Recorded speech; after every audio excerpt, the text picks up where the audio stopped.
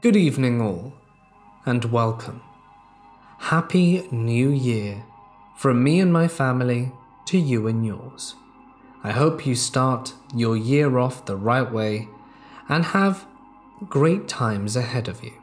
However, as one year ends and another begins, it doesn't always necessarily lead to happy times, as we're about to find out. So I hope you're ready, because it's time to get comfortable and let the darkness take control.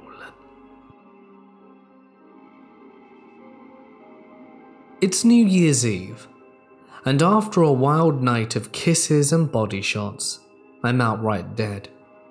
I crawled into my buddy's bed alone at about 2 am and had the greatest 20 minute sleep of my life. I wake up to the sound of a constant thumping and cracking noise Every other second, I hear a thump, then silence. I slowly get out of his bed and creep across the bedroom. The plan was that only him and I would be staying over, and although I found a few various people nestled on couches, the bathtub, or just motionless on the floor, nothing was out of place. I couldn't find the source of the constant drumming until I was in his basement at ground level and facing the corner of the room. My hand touched the wall's corner, still hearing constant thumping from the other side. It was coming from the inside of the wall. I stood back maybe a few inches and just stared. That's when the tip of an axe breaks clean through the wall. I screamed out and heard my friend rushing down the stairs. I'm frozen in panic against the opposite wall when he blew through the door. He sees the axe wiggling back through the wall, then crashing again through it, sending splinters across the floor.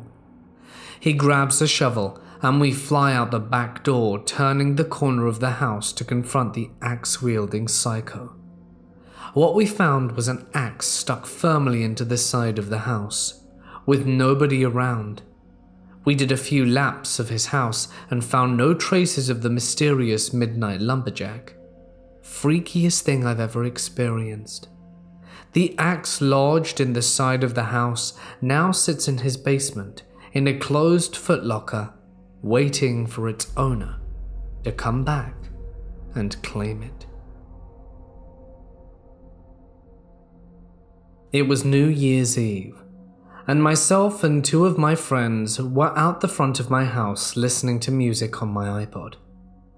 We were about 12 at the time, and there was no one else around. It was probably 10:30 at night, and we were waiting for the illegal fireworks to light up down the street, as this happened every year. It probably sounds a little weird, 12 year old kids alone at 10:30 p.m. listening to Katy Perry in the middle of the street, but it wasn't too unusual. See, my neighborhood is very close. We know the neighbors really well, so our parents, who were in the house, and ourselves weren't all that concerned. We were listening to Hot and Cold by Katy Perry, and we were jamming along to it when we began to hear a whistle. First off, it sounded like it was part of the song so I initially ignored it. But that was until it started to distort and go out of the rhythm. It didn't seem to be in tune with the song, and it was eerily out of pitch. I don't know why, maybe to hear it better, but my friend decided to pause the music. As soon as the music stopped, the whistling persisted, pitchy and slow. We were a little bit spooked. It was dark outside, other than the few street lights on the road, we couldn't really see much or make much out of the darkness, other than the strange whistling. We were able to pinpoint the direction it was coming from soon enough, though. We turned towards it and froze.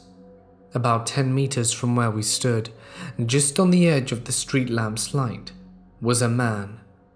He looked disheveled, likely homeless, and was standing there looking at us whistling that pitchy whistle.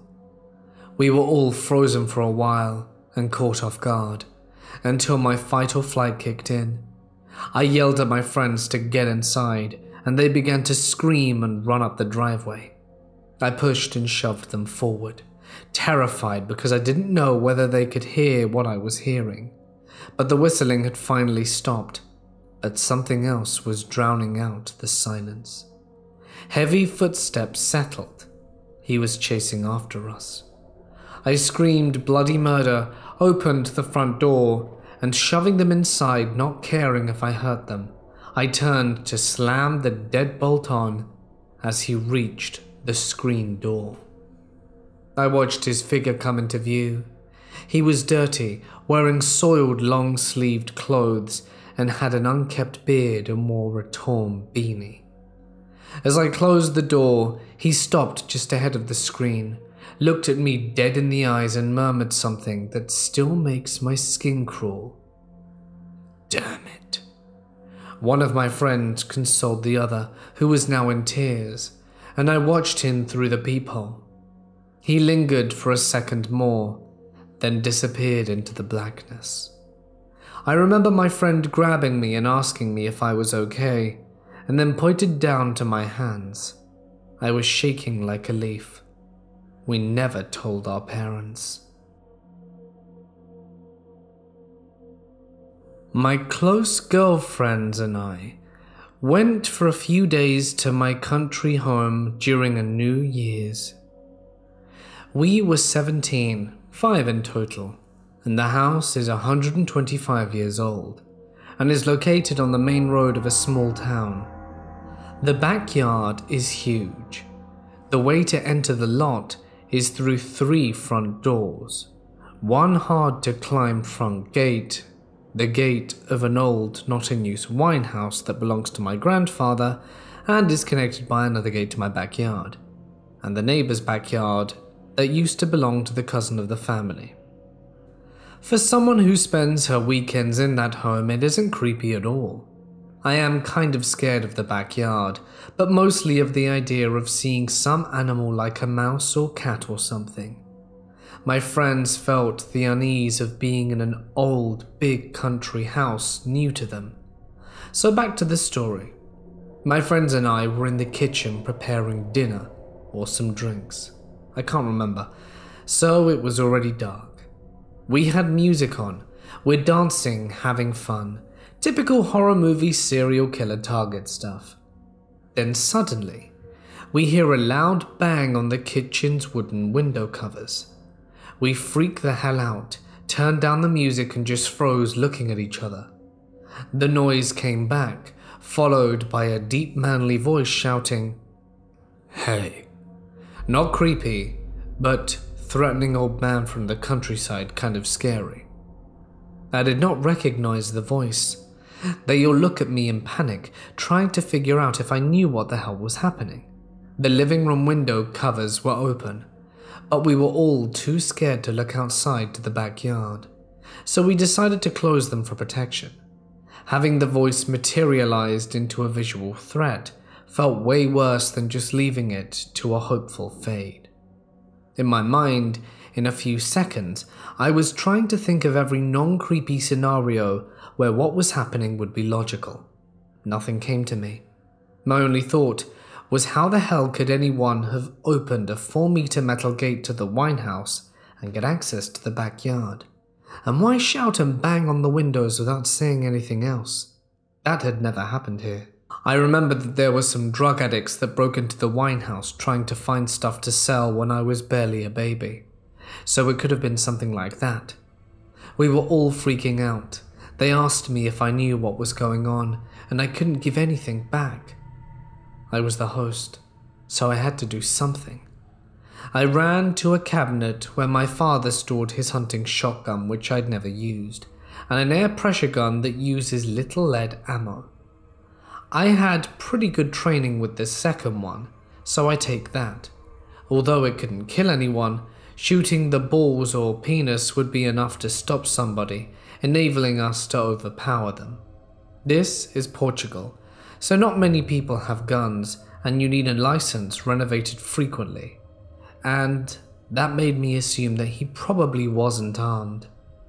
I was terrified, but adrenaline gave me a helping push, and I started shouting, Who's out there? No one answered. I peeked through the living room windows and saw no one. Only the right side of the backyard was visible, not the back itself that leads to the winehouse exit, and I decided it was better to not go outside and wait a bit to see if the creepy man had left. We waited, all scared, trying to make sense of what had happened. We didn't even think of calling the police, and after a while, we were back to fun and music. Even did a little bonfire in the backyard and tried not to think about it anymore. To this day, I haven't asked my parents who that could have been and why, and still find no possible unreasonable explanation for the deep, hoarse, threatening voice that belonged to no one. This happened on New Year's Eve 2010, turning into 2011. My dad, sister, and I were at my uncle's New Year's Eve party. I was 17 at the time, my sister 15, and between me, my sister, our two cousins, and aunt's relatives' kids, there were about 10 teenagers at this party. Some important background. At the time, we lived in a rural area in central Florida. And while the area for the most part was a nice place to live, there can be no denying that it is deep south, and some areas are still more bound to be the old ways of the south than others. It's also important to know it's just how deep the bond between my sister and I is. Like I said, I was 17, she was 15. And she was and still is my absolute best friend. Just about everything I did and do I did with her, and vice versa. We had all the same interests, friends groups, and what we didn't have in common, we still loved to share and try and introduce each other to. By every definition, we are inseparable. So here we are, a group of rowdy, loud mouthed teenagers at a party. It's only about 9 pm, and we were all restless, in need of something to do. One of us brought up the local cemetery that was a five minute drive from my uncle's house that was reputed amongst locals to be very haunted. Its oldest graves dated back to the late 1700s to early 1800s. It wasn't just the age that gives this cemetery its reputation, but rather its history. It was also the site of several lynchings of innocent black people by white supremacists. It was also where a woman was stoned to death for adultery and or witchcraft, again in the late 1700s to early 1800s. Naturally, we convinced my dad and uncle to take us, so we all piled into the back of my uncle's huge truck. We girls in the cabin with dad and uncle and the boys in the back, and set off for some spooky exploration. To get to this cemetery, you must drive about a mile's worth of dirt road through virgin land. So, a mile in the dark on a road completely canopied by enormous live oaks and palms. Forestry so thick you can't see more than 15 to 20 feet in front of you. So, it was already an unnerving atmosphere before we even arrived to the cemetery properly. Before we entered, the dirt road curved to the left, and on the outer part of the curve was a row of juniper trees that were around 20 to 25 feet tall. When that grove came into view, I suddenly saw a face peering straight at us from above those trees. It was the face of a young man, and when I say I saw a face, I don't mean I caught a brief glimpse of some transparent could be face. This guy looked flesh and blood, and alive. I can even remember distinctly what he looked like. Medium skin tone for a black person, a broad flat nose, shortish curled hair, and green eyes that reflected in their headlights like a cat's eyes, and a completely blank, emotionless expression. I stared at him for a solid five seconds or so before he just vanished. I sat there stunned, wondering if I should even say anything. But then, one of the other girls started to freak out. Did you see that? Did you see that man? She screamed. Keep in mind, those juniper trees were at least 20 feet tall, and there were no other trees or growths near them for another 30 feet or so. There was nothing he could have been standing on, not to mention the way the face just blinked out of existence. Still, we stopped, and one of the men looked behind the junipers out of curiosity. They found absolutely nothing and no one. Equally strange is even though he was dead ahead of us and very visible, only that one other girl and I saw him at the exact same time and no one else did. In the cemetery itself, a few other less pronounced things happened. But they boiled down to me and a few others in the group feeling a very negative presence.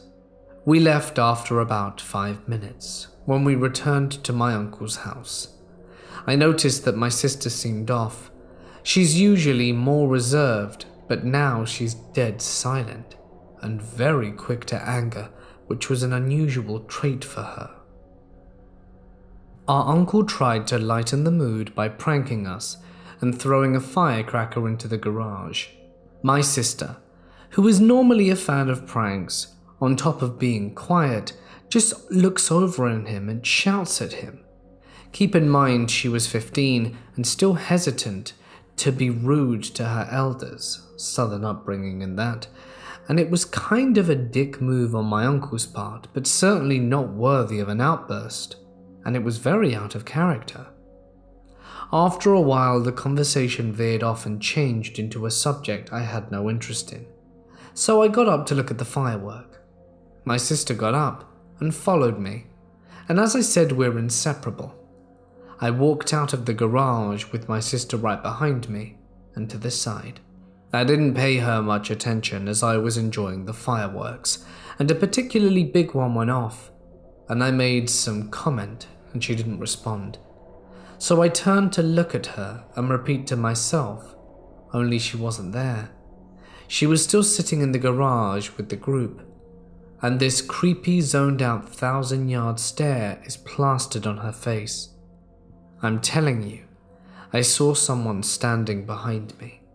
She was standing to the side and not completely behind me, but I saw her right at my shoulder, constantly in my peripheral sight.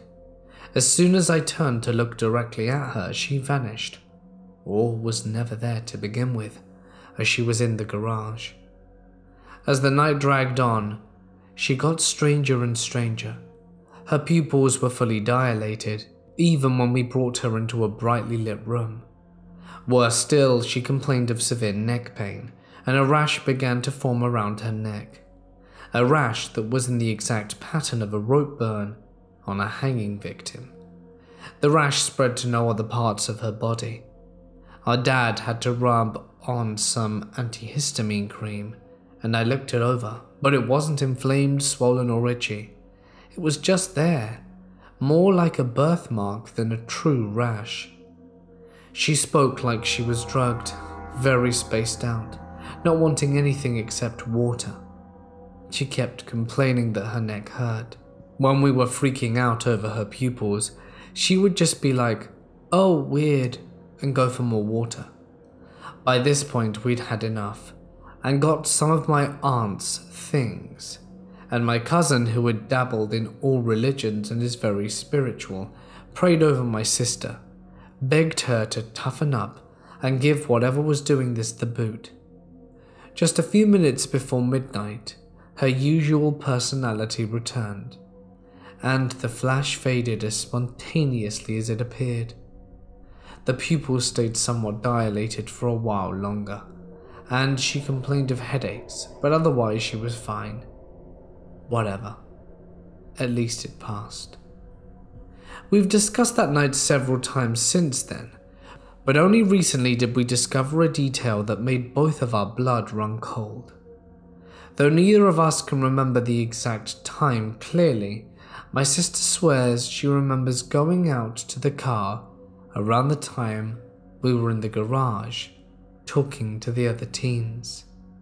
Somehow she mistakenly thought we were going to be leaving then, and she says she does not remember how long she waited in the car, but it was a while. A few minutes before midnight, she realized the New Year's Eve ball was about to drop, and we were staying for it, and then she returned inside. Only because she was never in the car. I kept her with me the entire time. I was genuinely freaked out, because even if it had nothing to do with that cemetery, I was genuinely concerned there may have been something medical going on, and was trying to figure out what it could have been. When I told my sister this, I don't think I've ever seen a look more terrified on her face. She genuinely only remembers just sitting in the car wondering where everyone else was. She passed out and was okay. This past New Year's Eve, I went away for the night with my two best friends and one of their mums. I was home for the holidays from college, and my friend Sarah invited me to go to Palm Springs to celebrate New Year's with her mum and our friend Rachel. I didn't have any other plans, so I decided to go with them. We went to a cool city about an hour from where we live that is big on shopping and resorts. We plan to have a pretty calm night, watch the ball drop at a block party thing downtown, and have a few drinks at a bar. Since we're on the west coast, the ball drop is at 9, so around 8 we ventured from our hotel, walked to the block party about a mile away, and on the way we passed a very lively bar. We decided to stop by and spent 15 minutes dancing, but didn't get any drinks. It was a gay bar, and Sarah and Rachel, being gay, was stoked on it and wanted to come back after the ball dropped, even though it was about 90% men there. We continue on to the block party, get some dinner, a glass of champagne, and the ball dropped, and they had a DJ. So we spent about an hour in there dancing. After we got tired of it, we opted to head back to the bar and hang out there until midnight. Once we get there, Sarah's mum pays for a drink for each of us, but leaves soon after that as she was tired. It being 10:30 at this point, and Sarah and Rachel and I are enjoying our drinks and having fun. Rachel tried some of my drink, since it was one she hadn't tried before, I constantly have my guard up when drinking in public, and I felt safe at this bar because it was 90% gay men, who I thought would have no interest in me. I went back to the bar to get a second drink, and that's the last thing I remember. The rest I've gathered from Sarah and Rachel. Almost immediately after getting my second drink, I asked Rachel to go to the bathroom with me because I wasn't feeling well even though I was feeling fine not 10 minutes previously. Once in the bathroom, I just collapsed on the floor, and I was almost unresponsive. Rachel, now worried, somehow drags my half lifeless body out to where Sarah was waiting for us. Security, seeing my condition and assuming I was wasted, asked us to leave. Sarah and Rachel decide to take me back to the hotel about half a mile away.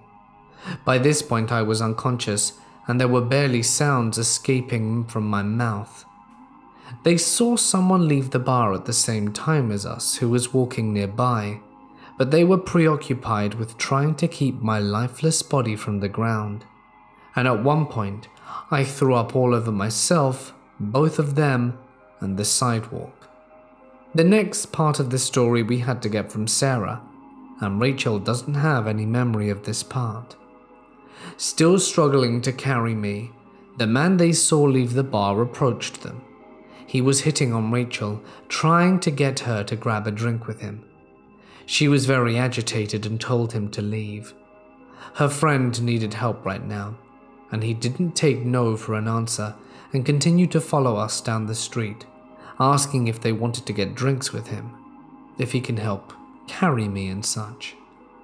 A middle aged woman witnessing this came up and told the man off, something along the lines of, Stop harassing these young women, or I'm going to call the police. And he left. Next, by some miracle, an EMT and his wife enjoying the holidays ran into us on the street. He checked me out to make sure something wasn't majorly wrong and then carried me the rest of the way to my hotel and into the room, since my friends could barely hold me up. They thanked him profusely, and him and his wife left. And this is where Rachel's memory kicks back in. Five minutes later, they get a knock on the door, and it's the EMT and his wife. They came to let us know that a man followed us into the hotel, and they just saw him hop the gate and start to make his way to our room. My friends called hotel security, but they were unable to locate him.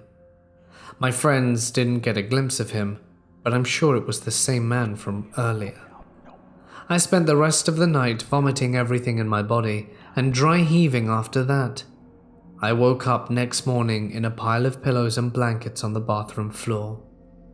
My last memory was at the bar getting a second drink, and my friends filled me in on everything that happened. Feeling like crap, I thought I must have drunk way too much, but I'd never blacked out before in my life, and the amount of drink I had didn't add up to me being completely unconscious. We decided my first drink had to have been drugged, since Rachel had some of it and had no memory of our walk home even though she was fully functional. I'm sure that man that was talking to Rachel and then followed us back was the one that slipped something into my drink. To this day, I don't really know how I could have been slipped something. I got my drink from the bar and never set it down. My best guess was that it was already in the cup. Thankfully, I had good friends and kind strangers protecting me that night. It keeps me up at night thinking what could have happened under different circumstances. This happened on New Year's Eve 2004. I was a good kid. I didn't drink until I was legally old enough, so what happened can't be put down to alcohol. I had been to a New Year's Eve party at a friend's house while her parents were out. When her parents returned, we left them to it and moved the party to another friend's house. Around 5am, I decided to call it a night and make my way back home. I walked for 20 minutes before getting to the stage where I had to walk under a motorway. Just to let you know, you cross the bridge and you're under the motorway, so it's essentially an open tunnel with lots of thick pillars. It goes on for quite a while, as there are three roads that it crosses underneath.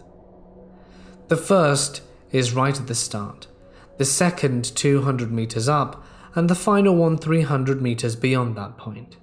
The final one is right at the end where I come out and walk up my street. Just behind the final road is a street light and a working men's club.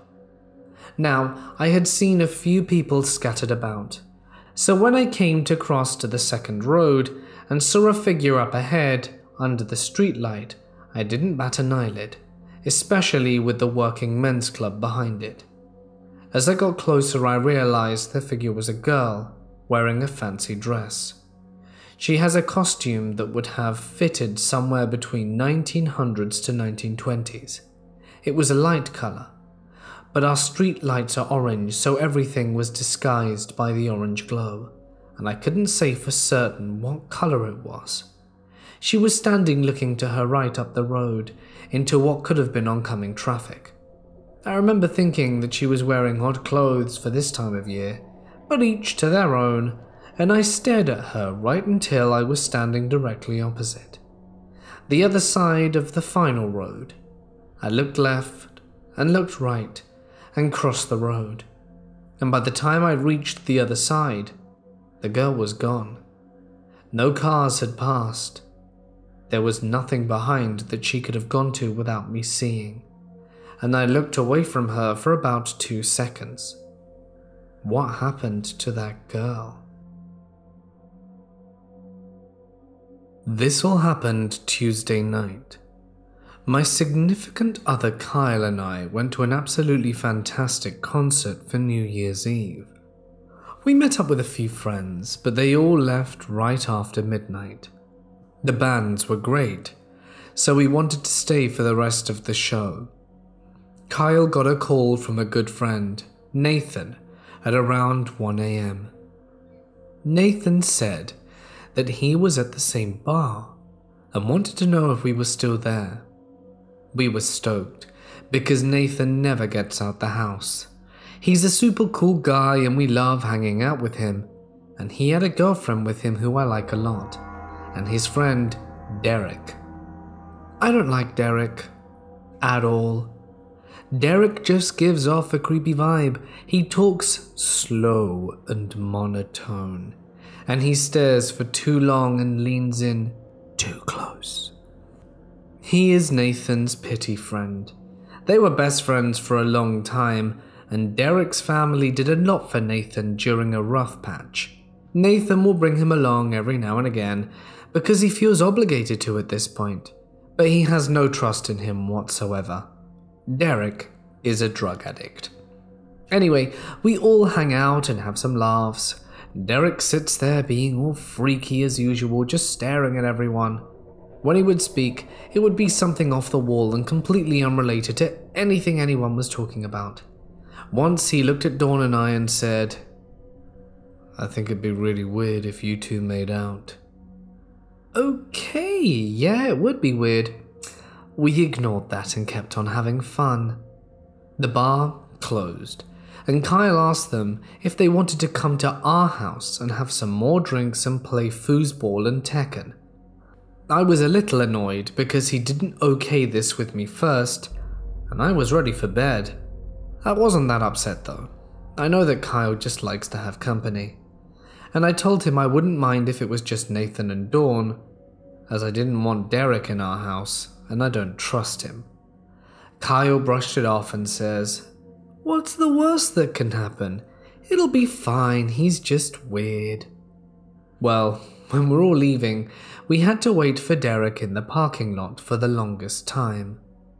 Turns out he was waiting outside the door of the bar and trying to get any girl to come with him, bribing them with free pills. I got mad and said, What makes you think it's okay to invite random people into my house? He just laughed. We get to my house and he sits on the couch by me. He keeps poking me, and when I ask him what he wants, he stares for 10 seconds before saying, What's up? I started ignoring him. He continued to poke me and tickle my feet, and I wouldn't even look over. Then he starts getting phone calls from people asking for pills. I went to the bathroom and he tried to follow me in there. I pushed him out, locked the door, and he knocked. After this, he starts trying to get Nathan and Dawn to take him home, which was 45 minutes away, and it's 4 am. They tell him no way. They had agreed he was staying with them, and they actually wanted to go to their house and sleep in their own bed 10 minutes away. He didn't want to go to their house, he wanted to go home or stay at our place. He started whining and telling me that I had to convince them to stay. I told him no. So he began saying Dawn had too much to drink to drive. The girl had one beer the entire night. When they were getting ready to leave, Derek comes back in and says he needs to use the restroom.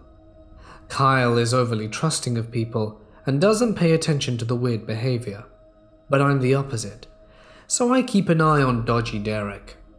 I caught him going through my prescription bottles. They were nothing but antibiotics, but it pissed me off that he was trying to steal from us, and I told him he needed to leave immediately.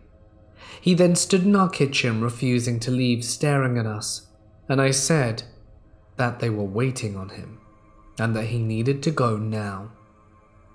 Don't you remember the time I gave you guys a ride? Well, make it even. You either convince them to stay, or I'll stay here and y'all take me home. No way. He gave us a ride home when we had a flat once, and we lived two blocks apart at the time. We weren't going 45 minutes away to take a weirdo home that's refusing to leave for unknown reasons. He kept saying that Dawn was drunk, and Kyle speaks up and says, If you get in a roadblock, I'll come to get you. And he says, Well, are you gonna post the bail too? Because we're your responsibility now. I'm beyond frustrated at this point and told Kyle, You invited them, now get rid of him. And I went to sit on the couch. Derek continued to stand there and stare at Kyle. Kyle, normally passive, is getting angry and telling him it's time for him to go and that we aren't taking him home or convincing anyone to stay. Derek says that he's not leaving, so he has to do one or the other. Kyle finally went outside and got Nathan to come, literally dragged Derek to the car, and the next morning Nathan called and asked if we were missing an iPhone, because Derek mysteriously has one now. Yes, in fact, my old iPhone was missing from the drawer. It was off, and I'd rather just let Derek keep it than communicate with him further. Nathan has apologized profusely and says that he isn't bringing Derek around anymore. When I was around 12, I spent New Year's Eve at my friend's house whilst our parents were out to a restaurant in a nearby town. The house was old and pretty isolated, and to be honest, it scared the crap out of me. You had to drive up a long, overgrown track to reach it. A lot of my other friends at school would say the house was haunted, and it was actually featured in a ghost book if I remember rightly.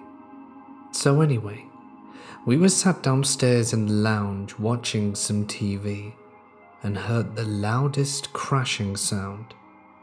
I still remember the look in my friend's eyes when we turned to each other in shock. It took us a while to get up and actually go investigate where the sound was coming from and what it was. We crept out the lounge down the hallway to the rest of the house. The crashing sounded like it came from upstairs, so we headed up to check it out. When we got to the top of the stairs, there was a breeze coming from somewhere.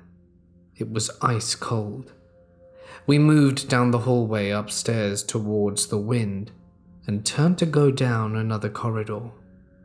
Bear in mind, this house was massive, and honestly, it was near enough a mansion from the 1920s. At the end of the corridor was his parents' bedroom. The door was moving back and forth slowly. We both stopped and just stood still, frozen, and not saying a word to each other. After a moment, my friend walked towards the door. I was still frozen in fear and fell behind a little. As he pushed the door open and snuck into the room, the darkness consumed him. I could barely make out his silhouette. There was perfect silence for a few seconds before I heard him let out the most terrifying scream. My adrenaline kicked in and I ran towards the room to see what had happened. I searched for the light and turned it on. He was stood frozen stiff and pale, just staring into an empty corner of the room. Just to the side of him was a massive antique mirror that was smashed into pieces, with shards of glass scattered all over the floor. I placed my arm on his shoulder and asked him if he was okay. She broke the mirror. Who? The woman in the corner. She told me to. At that point, I was honestly like, screw this, and told him we should leave. He turned to leave with me, and just before we did, I wanted to check the mirror. Surely the wire had broken or something. I bent down to inspect, turned it over, and the string that was still holding it to the wall was intact. It hadn't snapped. I looked at the wall. The nail was also still firmly fixed to the wall. At that point, I was so terrified, I told him to call his parents and tell them to come home. We waited outside the front door until our parents arrived from the restaurant. My dad and his went straight up to the bedroom to check it out. When they arrived, they saw the broken mirror. They sort of pushed it off and said we were up to no good and playing a game that got out of hand. And after that night, my friend never really spoke about it to me. The worst part is that I'm 24 now and was having a general chat with my mum as New Year's is coming up soon. That night came up. I told her about it and she said, I believe you. Your friend's mum told me a few days after that night that she had seen a woman in her room telling her to leave the house. It honestly sent my whole body tingling, and I had flashbacks to that night. It's honestly sent my whole body tingling, and I had flashbacks to that night, with it being 12 years ago now. To this day, I still can't work out how the mirror fell off the wall. It would have had to have been physically lifted up and over the hook. I think it's best if I just forget it. I don't like trying to picture the woman my friend kept saying he saw. When I was 13, the dawning of a new millennium took place on New Year's Eve. While people were fearing the worst with the Y2K bug, or out partying and drinking, I was home alone. In 1996, my parents had split up, and from there they divorced, and my mother and I moved across the country from Oregon to Tennessee with her best friend. On the eve of the year 2000, I was home alone, and my mother was currently out of state. Now, this didn't worry me, as this was not the first time. I often came home to find a note on the kitchen counter saying that she had gone to Florida for a few days and that there were some groceries in the fridge. Since the divorce, she was regularly leaving me alone for long periods of time to go to Florida. We lived on a relatively quiet road, surrounded by trees, and set a few miles out of town. And I know most of the people, if not by name, then by face, well enough to wave and have small chats with, and have never been given a reason to be afraid of being alone. On the night in question, I was staying up late watching television. I remember that I was watching the movie His Bodyguard on USA Channel and had most of the lights on in the house, not because I was afraid, but because at 13 I wasn't concerned with electricity bills or saving the environment. I felt completely safe and protected within the confines of my bubble of home. As I was watching the movie, I kept hearing these weird sounds outside, but I remember thinking it was likely just the neighbors. Though they weren't extremely close, a couple of them were having a party, and about halfway into the movie, the power in the house suddenly went dead. I sat on the couch for a minute, just sort of in a panic daze because it was near midnight and pitch black. I remember thinking the power must have gone out and that it would come back on in a while. So I decided to sit on the couch with my blanket and wait. A few minutes passed by when I heard a noise in the kitchen, where the back door is.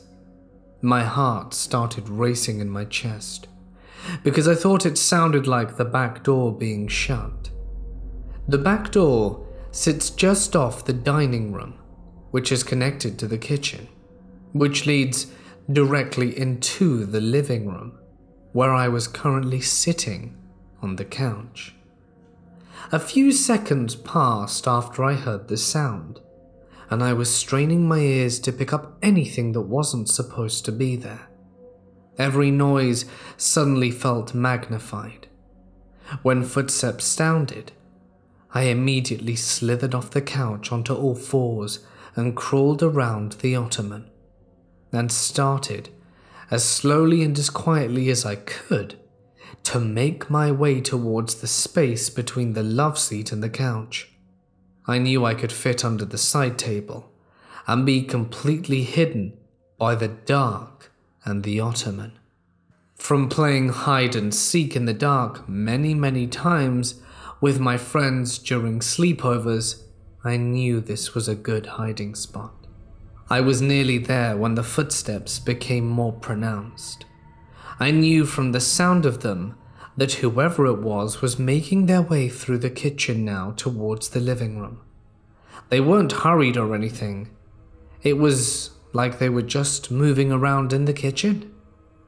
I glanced up from where I was crouched on the floor, and to my horror, there was a dark silhouette standing in the archway between the two doors. To my credit, I didn't scream, however, I did panic. I stood immediately to my feet from my hiding spot and ran down the hallway, and I believe the only reason I wasn't overcome was because the person chasing me had to get around the ottoman in the dark to follow me.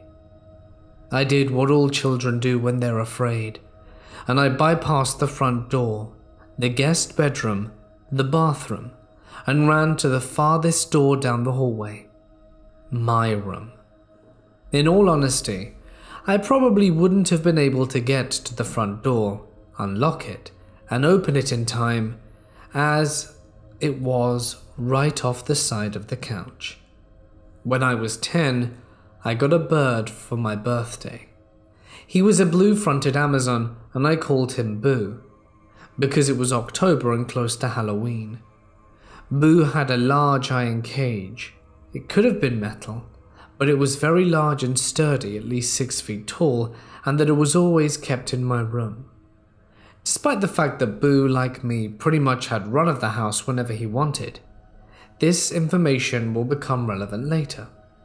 As I run into the room, I slammed the door shut and locked it.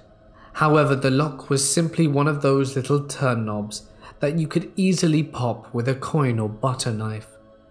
I had barely gotten the door shut and locked when the person on the other side knocked on it. I have no idea why they knocked if they did it to mock me or scare me, but I knew in my heart that my little lock was not going to keep whoever it was on the other side out of my room. It didn't keep my mother out when we were arguing, and it wouldn't stand up to brute force. I was panicking, on the verge of tears when the person began to laugh. It was a low, quiet laugh, which made it even more frightening.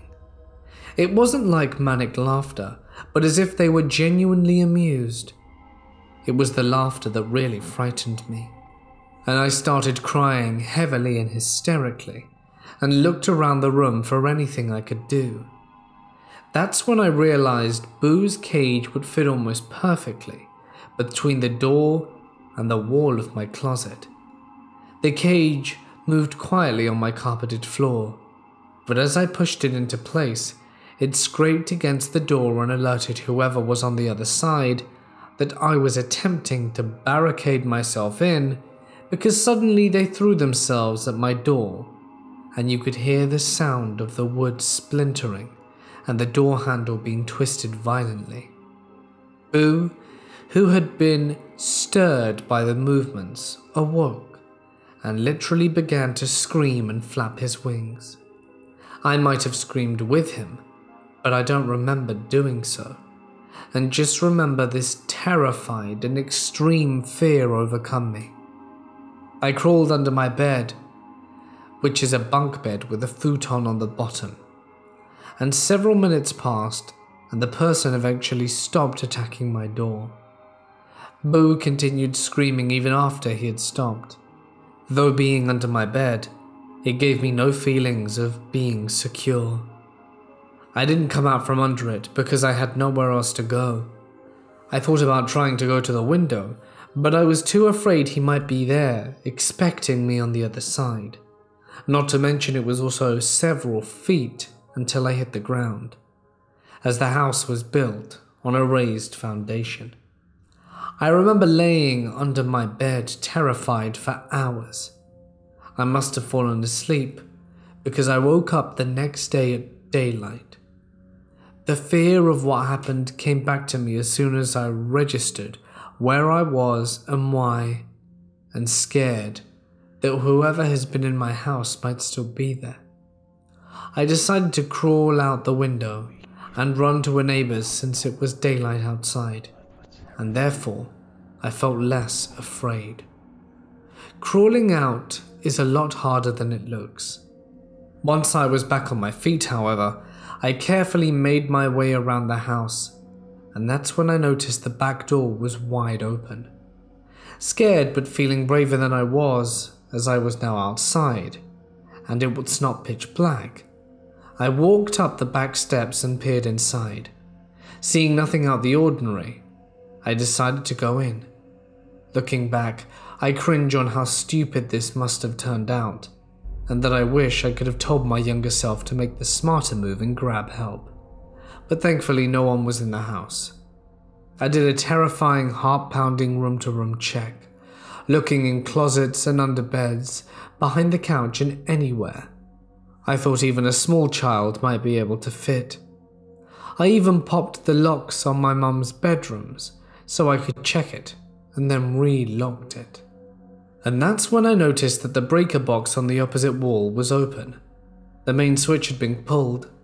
I flipped it back on, locked both locks on the back door, checked all the windows and front doors, and then called my mum, where I once again broke down crying hysterically.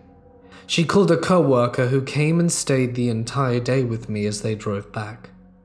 My mum still takes random trips to Florida after that, but I always went with her from then going forward. So terrified, laughing, crazy person that broke into my house on New Year's Eve? Please, let's never meet again.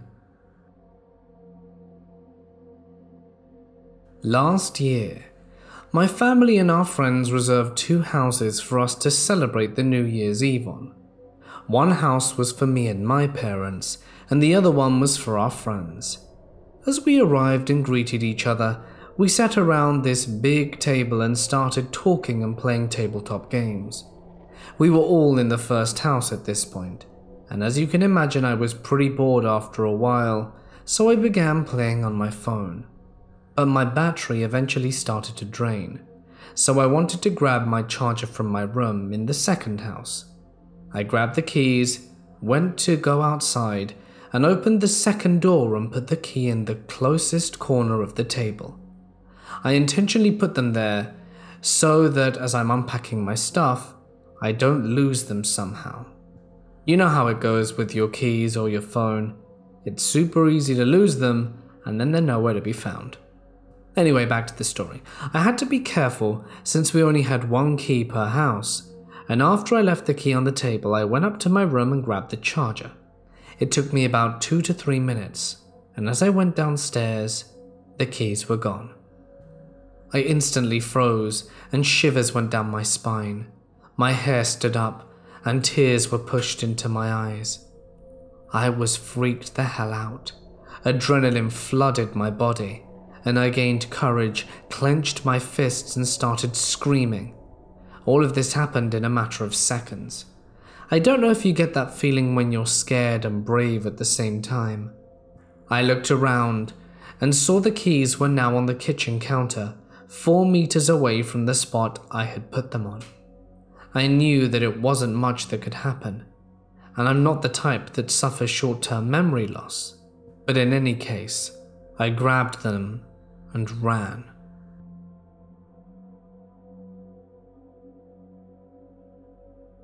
Hey guys, it's Mort here, and thank you so much for listening. I hope you enjoyed tonight's stories. If, of course, you did, let me know down below. Happy New Year again to each and every one of you. Thank you to everyone who comes and listens because you guys make this channel what it is and I love being able to produce content for all of you. Have some pretty good videos lined up for this year. It's going to be fun. So, especially January. January looks like we've got some really interesting topics. I'm probably going to put some out on polls. So, yeah, keep an eye out. Wait and see. It, it's going to be fun. As always, a huge thank you to my incredible patrons whose names can be seen on screen. If you'd like yours on screen, feel free to check out Patreon. For as little as a dollar a month, you can really help keep the channel going. And it, of course, means a lot to me.